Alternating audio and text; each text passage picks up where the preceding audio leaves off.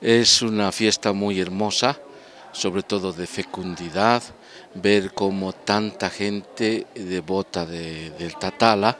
se concentra aquí en Santa Veracruz, sobre todo para agradecer a Dios por la vida. Y entonces la cruz que tiene otra dimensión de, vida sobre todo, de alegría, de gozo, es muy bello saber que hay tantísima gente que acude a este templo, a este centro de espiritualidad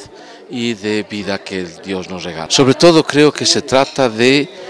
tener este agradecimiento profundo a Jesucristo nuestro Señor que muere en la cruz y que nos salva. Y que eso se pueda traducir en nuestras vidas, siendo nosotros testigos de la resurrección, podamos también anunciar la vida en nuestro medio ambiente, en nuestras familias, seamos constructores de paz, de vida, de resurrección y no de lo contrario.